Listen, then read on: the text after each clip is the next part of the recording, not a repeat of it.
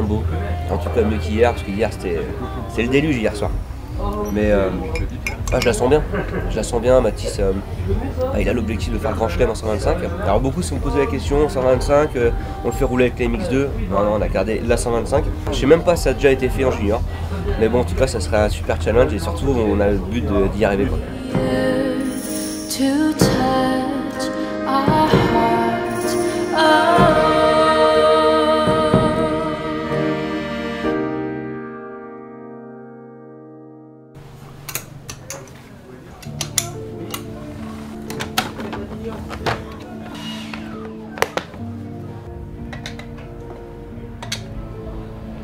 L'impression que c'est bon, mais je sais pas. Euh, donc avoir un mécano, euh, bah déjà ça m'évite de laver la moto moi tout seul. Euh, faire la mécanique, euh, moi je suis pas adepte de- trop de la mécanique. Euh, ensuite à l'entraînement, euh, même si Aval euh, il peut me panoter, il peut faire pas mal de choses, on a beaucoup d'avantages. Euh, après euh, il est là le jour des courses, il fait toute la moto, il lave, donc euh, j'ai aucun stress donc c'est impeccable. Non, ça va. C'est un des moins chiants que j'ai eu pour l'instant. Il a pas dit le moins chiant non plus, attention. Ah moins chiant. tu sais que des fois il me change des trucs, je m'en rends même pas compte. Salut à tous, on est à Ifandik en Bretagne. Euh, une piste magnifique. Franchement, c'est une piste que j'adore. Il y a eu des championnats du monde à l'époque. Moi, j'étais venu d'ailleurs en tant que spectateur quand j'étais tout petit voir un championnat du monde. L'objectif aujourd'hui, ça va être quoi? Ça va être de travailler pour le championnat du monde pour Mathis Valin. On a la Coupe du Monde en Roumanie week-end prochain. Je veux vraiment qu'il nous fasse un gros week-end. Brice, lui, bah, il a entamé le championnat de France Supercross. Donc euh, voilà, le motocross et le Supercross, c'est complémentaire travailler encore pour que ça lui apporte aussi en, moto, en supercross. Donc je veux deux bonnes manches qui terminent en beauté cette saison de championnat de, de France MX1. On a un petit challenge, je vous en parle, on a un petit challenge. Mathis, il a gagné toutes les manches depuis le début de la saison en championnat de France junior. Il a gagné 12 manches sur 12. Il peut gagner 14 manches sur 14, ça serait le grand chelem. Alors je sais pas si ça a vraiment été réalisé, mais en tout cas ça serait vraiment un challenge incroyable. On y croit, et puis euh, lui aussi il y croit, il a vraiment envie de le réaliser ce challenge. Aujourd'hui, euh, on a tout pour bien travailler pour le mondial. On a une belle piste, c'est une piste rapide, c'est des courbes. Les courbes, euh, on sait que c'est pas ton point fort, travailleux. Là, on fait pas du roville. J'insiste là-dessus, je vais pas te lâcher. Je jure, je vais pas te lâcher.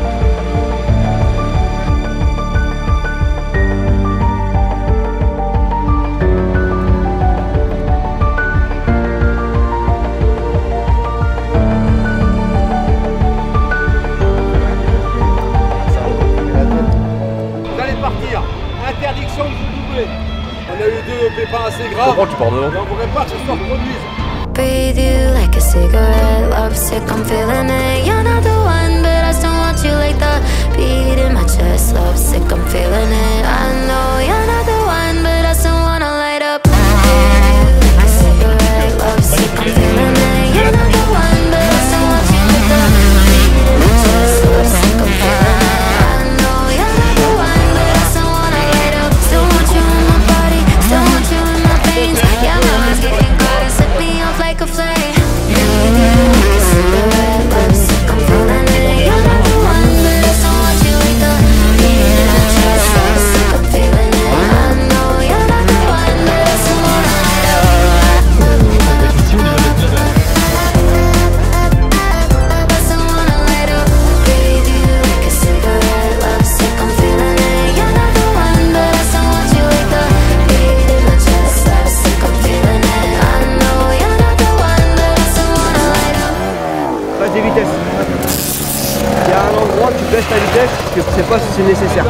Après le, le triple en montée qui est un peu chaud là, tu tournes, double échange, tu baisses ta vitesse en l'air. Du coup, tu as du un moteur, tu vois. C'est pas mal la trace que je fais ou pas Pour le moment, non. Prends bien ton extérieur dès le début. Je l'ai fait derrière tour. Je sais pas, le- les Mongols, ils ont fait une trace, euh, elle fait ça. t'as Alors que quand tu prends dès le début, faut pas rêver, c'est dur de faire des différences. Hein. C'est plat. hein. Demain, ça sera autre chose. Ouais, c'est ça, on a découvert la piste, donc une grosse piste. C'est assez court quand même, c'est rapide, beaucoup de courbes. Euh, pas trop défoncé, pas trop d'ornières, c'est un peu plat ici. Euh, mais bon, ça va, c'est assez cool. euh, on a fait un bon temps. En fait, tout l'extérieur dès le début, c'est que des roches. Il y a que, en fait, ce que tout le monde prend pas, du coup, ils décalent toutes les roches. C'est vrai que c'est. Bon, déjà, c'est à côté de la maison. hein, les Bretons sont nos voisins. Et, euh, mais j'ai des gros souvenirs. Alors, c'était pas des souvenirs qui m'ont. euh, qui ont été hyper gratifiants, on va dire, pour ma carrière. Mais j'en ai. Je vais vous parler de celui de 2015. Je suis arrivé ici, j'étais euh, deuxième championnat de France élite. J'étais derrière euh, Aranda qui était lui en tête. Bog était troisième. Et en fait, c'était celui qui gagnait, euh, qui, faisait, devant l'autre, en fait, qui allait être champion. Ce week-end-là, il y avait eu des guest stars, il y avait eu Paulin et, et Fèvre qui étaient venus. Fèvre était en, en tête du championnat du monde à ce moment-là, par deux. Et je me souviens, je double Fèvre qui était en tête euh, du mondial. Et, euh, et là, ça m'avait remotivé. Quoi. Je dis putain, ouais, c'est c'est bon, je suis bien. Je vais aller chercher cette victoire. Je devais être deux ou trois de la manche. Euh, C'était une super manche. J'étais devant mes concurrents directs du championnat. Donc je savais que je reprenais des points. Et là, dernier tour, je casse la roue et, euh, et j'abandonne la manche. Ça a été un gros coup dur, je me souviens, parce que bah, je m'étais beaucoup investi pour ce championnat. Et euh, finalement, j'avais fait troisième du championnat de France avec cette manche à zéro. Et euh, l'autre souvenir, c'est 2019. Euh, J'étais arrivé promu du championnat de France en 2,5. Je roulais chez JPM, chez Suzuki. Et vous vous souvenez de ce fameux report de points. Le dimanche matin, ils me disent voilà, Valentin, t'es plus premier au championnat. Stéphane est passé devant toi. Alors, Stéphane Rubini, qui était, jeune à ce moment-là, lui, il n'était pas pour grand chose en soi. C'était la, règle qui voulait ça. Et ça m'avait vraiment énervé euh, ce, report de points parce que je trouvais ça tellement injuste que bah, finalement euh, j'avais la rage quoi. J'étais euh, j'étais très très énervé et ça m'a donné vraiment du, boost pour la le roulage toute la journée. J'avais gagné la première manche pour l'anecdote avec je crois une minute d'avance et j'avais pris un tour au quatrième. Et, voilà, deuxième manche pareil, j'avais bien roulé, j'avais gagné. Mais ça suffisait pas, donc je perds le titre à 4 points. Qu'il faut savoir à l'époque, alors ça c'est pour l'anecdote, c'est que j'étais challenger et j'avais mis toutes les, grosses primes d'arrivée sur la, première marche du, euh, podium. Donc euh, en gros, si j'étais champion, je devais avoir un, un gros cachet. Et si j'étais deuxième, pas grand chose. Et j'avais fait deuxième. Mais voilà, c'est des, des petites anecdotes sympas que, que je voulais vous partager.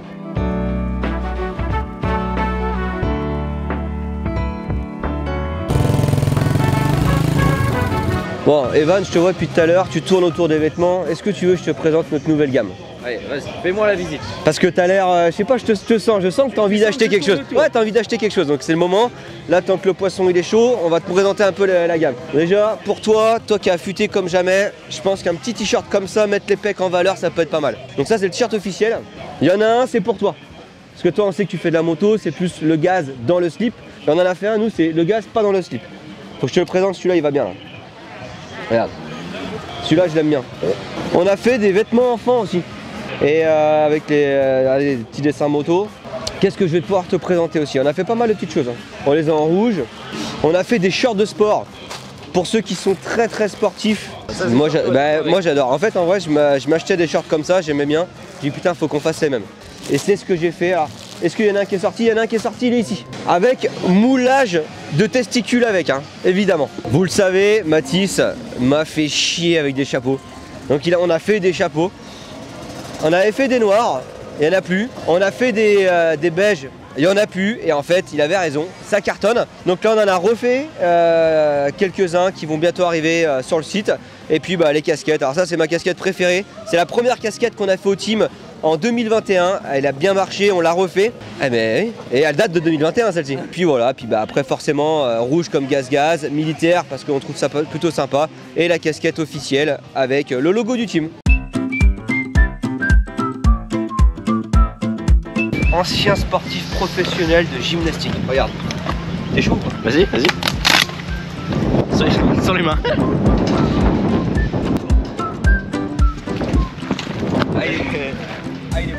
Le problème c'est que là avec l'arrosage ça va être la merde. Inter il sortait exter. En fait, je, faisais- je passais vraiment à droite. Quand ça va être pourri à l'intérieur, ici regarde ça va faire une ornière. Voilà, il m'a dit de venir. Je sens qu'il va me dire d'élargir, de recouper, sauter un peu vers le piqué et par-dessus le, le talus un peu. On vérifie le discours du coach tout de suite. Allez. L'idéal je te dis ça serait de passer à droite là, on va décaler un peu le piqué, à droite c'est top là. Que ça va travailler ça. On avait bien raison. Ouais, c'était un peu ça, ouais. Je te laisse 5 secondes avec la caméra, tu nous fais des dingueries là en fait. Bah là, c'est- enfin, là c'est pas 5 secondes, c'est tout le tour. Donc là, autant te dire que là-dedans il va en avoir des conneries. On fait une compilation maintenant Si tu veux. voilà, je vous présente euh, les deux seules ornières du terrain. Il n'y a que celle-ci. Sinon le reste c'est tout plat. France ou j'ai pas compris là. Gros trip du terrain. Apparemment 85 ça passe, moi j'en chie en 125. J'ai pas compris le délire. Bon là, vu comme c'est parti, fin de journée, ça va aller tourner là-bas, derrière, derrière le seau, puis ça va choper là-bas. C'est sec chef là. hein. Beaucoup de cailloux, beaucoup de terrain bien sec au, à l'extérieur, intérieur de la bonne terre, moins de cailloux. Ça peut être pas mal. 48 200, c'est le nombre de cailloux sur la piste. On vient de les compter là. Hein, Depuis hier soir, on y est.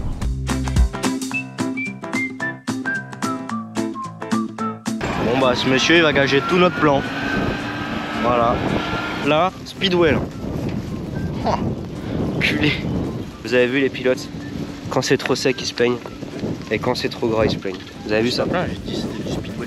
Faut préciser, là c'est quand même arrosé et costaud là. Cet après-midi, c'est pas moto, c'est ski, les gars.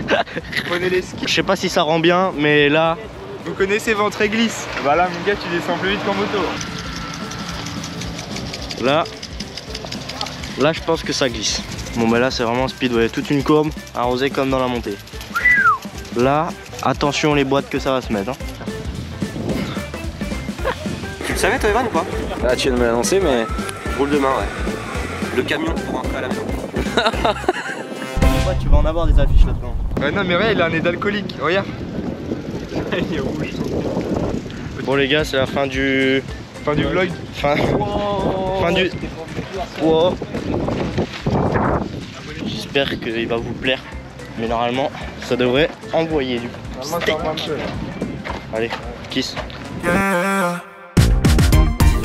Pendant que je fais le tour de la piste que les 85 allaient décroter pendant le repêchage. Et ils ont enlevé le repêchage, du coup c'est à moi de rouler. Là, euh, bah là ça va glisser comme vous avez vu dans les images en GoPro, euh, ça fait peur.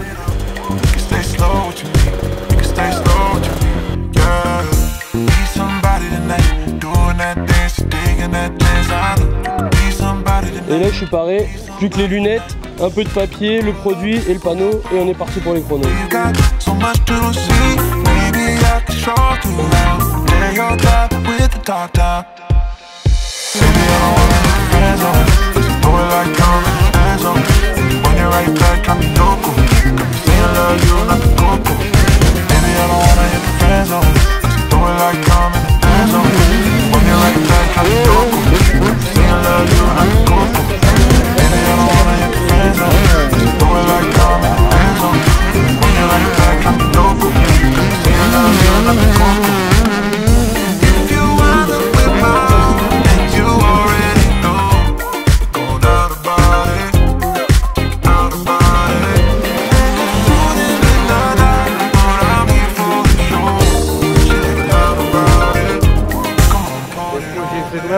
40.895.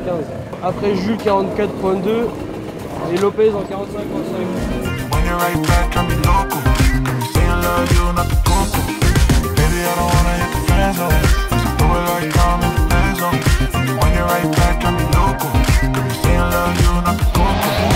Ça sèche, ça sèche. Là c'est le deuxième groupe et on voit quand même que la piste elle a, elle a absorbé l'eau, c'est quand même des meilleures conditions. Ouais, il a été assez intelligent parce qu'il fallait pas faire de chrono en fait au début, c'était trop gras. Une 40, euh, vu l'état de la piste, c'était pour moi un bon chrono, je suis, euh, assez satisfait. Après, il y a des petits points encore à améliorer qu'on a regardé ensemble, mais c'est un beau plan. Donc là, ça va être le départ euh, des espoirs. Donc on regarde évidemment le départ euh, pour voir d'où ça sort. Même si euh, moi j'ai ma petite idée, c'est vrai qu'à c'était en 2019 avec la Suzuki. Je m'étais donné le challenge de partir tout externe. Je fais monter un peu sur le talus. J'avais pris le dur. Là, ça fait la même chose. Le départ, c'est la même configuration. À voir si Matisse a les, cacahuètes pour le faire. Ben, on va voir si ça fonctionne, hein, tout simplement. En fait, Mathis, ta coupe de cheveux là, je vais pas te la faire. J'ai coupé un peu, mais ça se voit pas trop. du tout là. Mais si, ça m'arrivait en dessous du menton. Regarde. on va regarder un petit peu, on va, observer Sous ma gueule. et essayer d'assurer le maximum.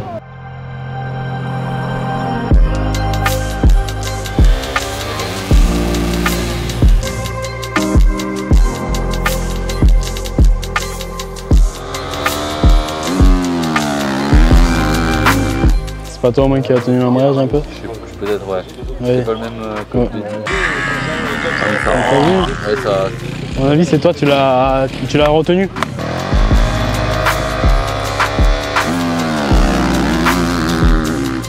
Pourtant, dès que tu sors, après, elle prend. hein.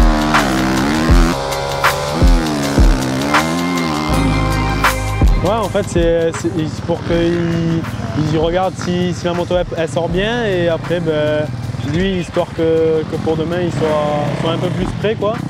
Et ça permet, ça permet de, faire, de, de faire quelques départs un peu avant la course. contre, comme vous voyez, comparé à ce midi, ce midi c'était euh, ski, snowboard, la luge. Là, c'est VTT de descente. ouais. Euh, différent. C'est samedi soir, on a terminé la première journée euh, ici à Ifandik. Première journée qui est bonne, Euh, voilà le chrono, le chrono est bon pour Mathis, 1,40. Le deuxième temps c'est en 1,42. Donc euh, voilà, non, les sensations sont bonnes. Maintenant le circuit était quand même très très plat aujourd'hui. C'est souvent le problème qu'on a un peu sur les championnats de France le samedi. Euh, c'est trop plat et pour moi trop à mon goût. Alors oui, je sais, faut faire aussi en sorte qu'il y a les 85 qui roulent, mais c'est trop plat et c'est vrai que ça c'est quelque chose que j'aimerais d'ailleurs pourquoi pas proposer qui, change pour les années futures, de faire un samedi avec plus de trous, plus d'ornières.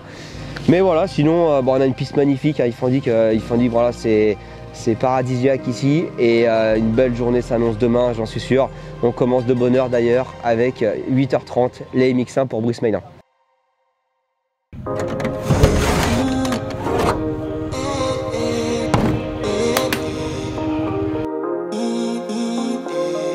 Stay till the morning. Tell me you want it. You know I'll go on and on. Cause you're too important.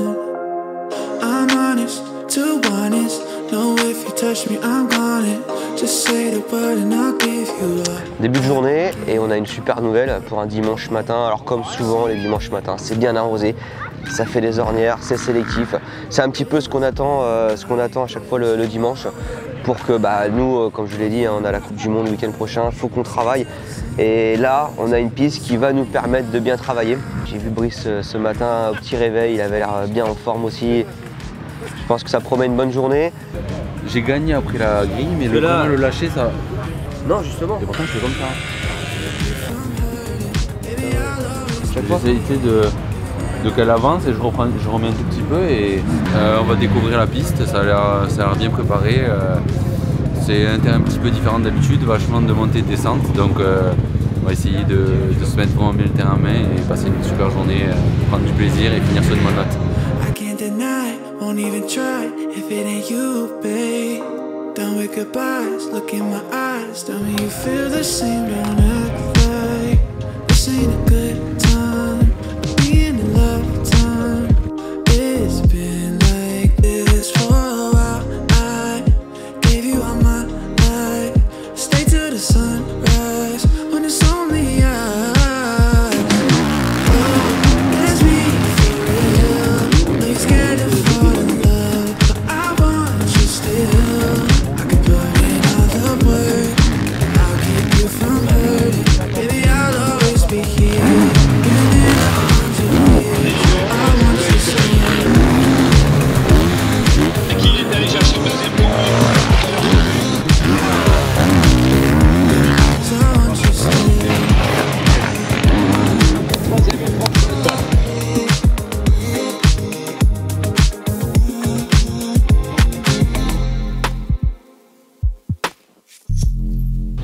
la table après, tu vois, essaye de la casser un peu plus. C'est un peu plus de rythme en fait. Mais tu roules bien, ça, franchement. Non, non, non, mais tu sais, t'as les- euh, t'as l'enchaînement triple table, grande Oui, courbe en oui. virage. Ouais, là, là, les deux bosses. Les deux, oui, les deux Ouais, bosses, tu vois. ça, ça Et après, Ouais. après Ouais, le là, virage, là entre les deux, t'es un peu lent. Ah ouais Et tu mets du temps un peu à mettre le pied sur le café et tout, c'est un légèrement lent. En fait, toi, tu restes un peu sur les freins, tu vois. Ouais. Et Rubini, il lâche hyper tôt. Ouais. Ça- Ah, putain, il m'a encore pété un rayon. Ah bah voilà, un rayon. Ah, c'est vrai, il me l'a dit tout à l'heure. Il m'a dit Tu me pètes toujours un truc.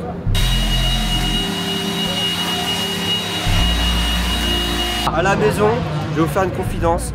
Matin, midi et soir, aspirateur. Alors on va le mettre dans les commentaires. Est-ce que oui ou non vous me croyez dans ce que je viens de vous dire? Et je vous dirai la vérité euh, la, prochaine, la prochaine vidéo.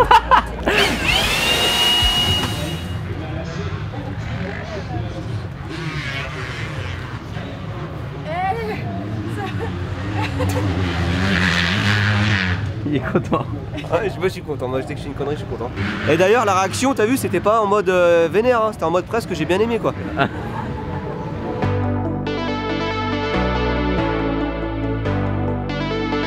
La deuxième elle est bien, ok?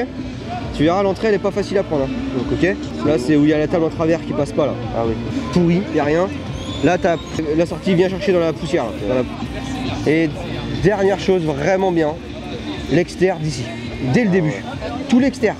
Pas trop de frein. hein. Laisse rouler la moto, c'est que des courbes là. Bah, la question elle se pose pas là, la première Mathis. Sur le talus direct. On est quelques minutes avant le départ, on choisit l'option extérieure, comme je vous en ai déjà parlé un petit peu auparavant. Pourquoi? Parce que bah, c'est vrai qu'on a 5 mètres, euh, on va dire un peu mo- mou, et derrière on a du dur. Et qui dit dur dit que la moto va prendre de la, de vitesse. Alors en extérieur, va falloir quand même faire une grosse sortie grille. Mathis est en confiance avec ses traces extérieures. Et on le sait, le départ c'est beaucoup dans la tête. Et puis euh, bah, voilà, après c'est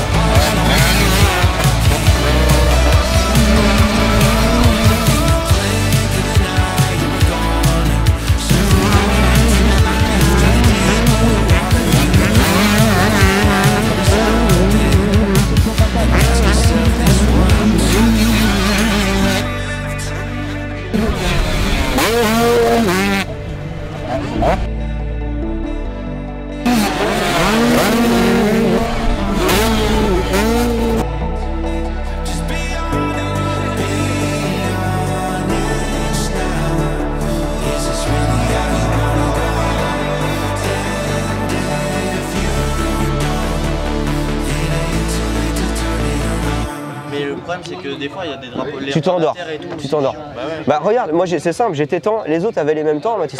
Tu roulais, ton meilleur tour c'est 3 secondes plus vite. Même s'il y a les autres, t'es censé rouler minimum 2 secondes plus vite qu'eux, tu vois. Dès que j'étais avec les retardataires, je, suis... je roulais comme eux. J'en profite parce que j'en signe plus beaucoup.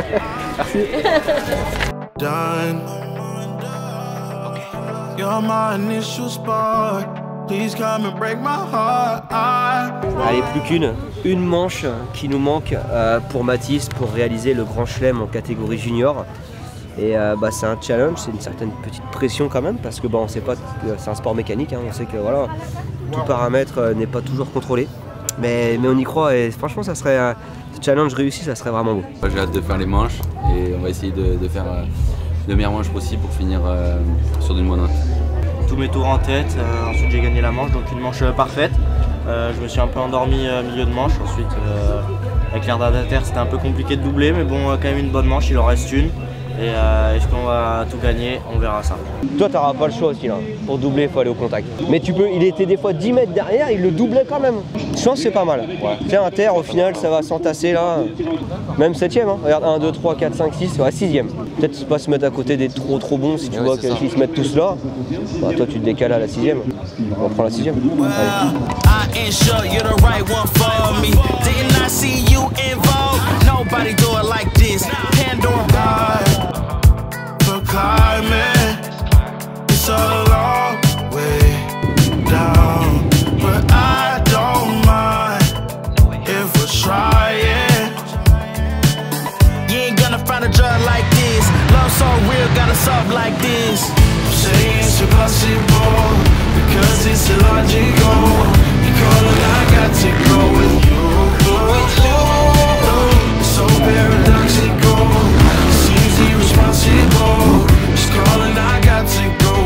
On est maintenant à mi-manche, Brice est sur le point de passer 7ème. Départ loupé, euh, le wagon est parti, donc il avait perdu vraiment le, rythme au début. Et euh, bon, il se bat, il se bat. Je, pense que cette 7ème place est, est jouable en tout cas euh, dans cette première manche. You plus me equals good. See, let's be all that we could be. Let's be all that we could be. I get lost beside you, and I won't be found. I would cross the fire if I knew that you'd be Quelques minutes avant la dernière manche, qui va faire le grand chelem. La tension monte forcément, mais euh, on y croit.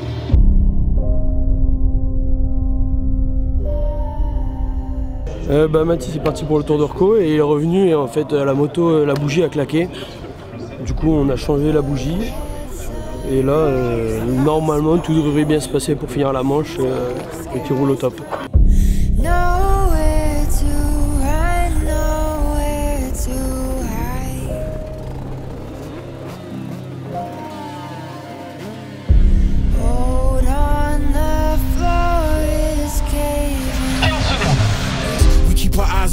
Know that they targets. Hunting for goodwill, we ain't looking for bargains. And you should say a prayer, ain't nobody praying for you. Cause if I want it, then it's mine, that's what I'm saying to you. If you faint hearted, you better leave. You try and cross me, then you dead to me. Cause I'm in the business of making enemies. And there's a good chance that you may never leave. You feeling comfortable, you should never be. Cause I'm bringing pain if we should ever meet. Tonight, you should really find a lifeline. Outlaws Ouais, c'est le petit dernier tour. S'il assure, il a plus de 20, 20 secondes d'avance. S'il assure, euh, il ne devrait rien se passer normalement.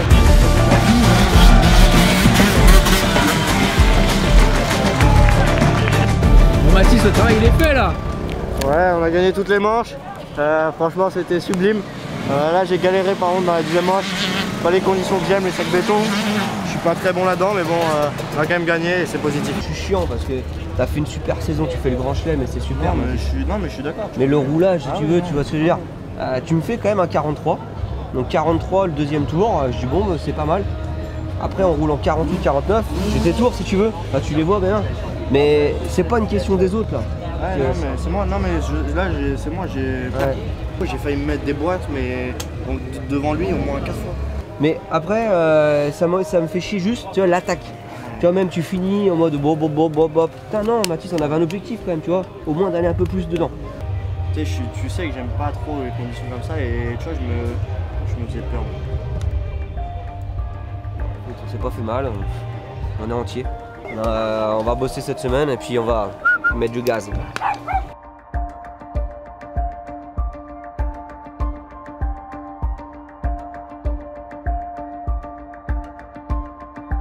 Dernier départ de la saison motocross élite, ça va être les Nixin, piste qui a énormément séché. Ça fait des, franchement c'est costaud, ça fait des gros gros grosses marches euh, dans les montées et puis bah, y a un peu de poussière donc voilà. Il va rester quand même vigilant. Je sais que Brie j'étais pas très content de la première manche donc je l'ai un peu boosté pour qu'on aille chercher une belle deuxième manche qu'on finisse en beauté ce championnat. Maintenant il va aussi falloir rester sur ses roues et, euh, et repartir d'ici entier.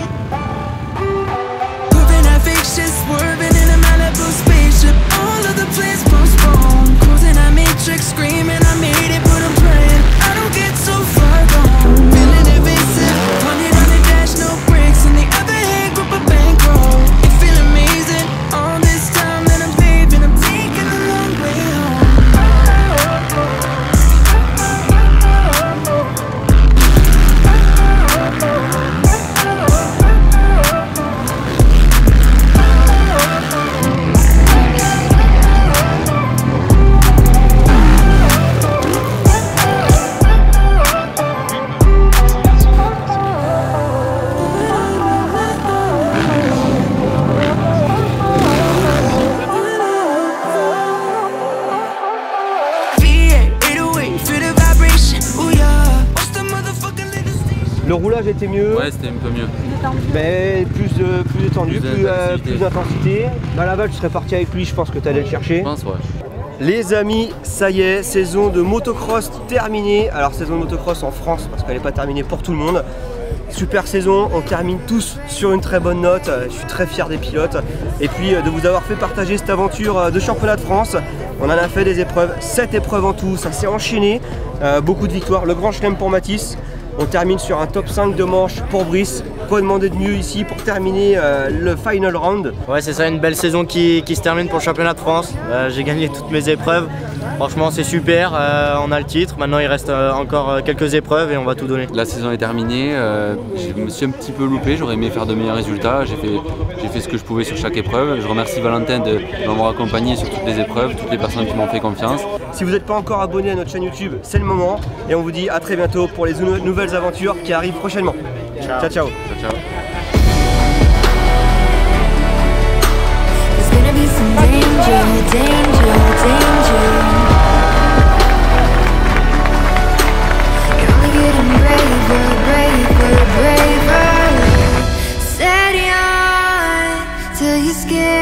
feel